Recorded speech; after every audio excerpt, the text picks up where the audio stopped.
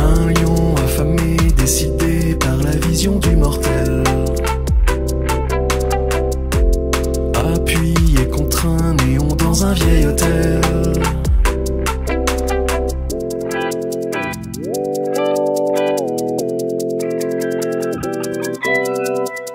Au fond de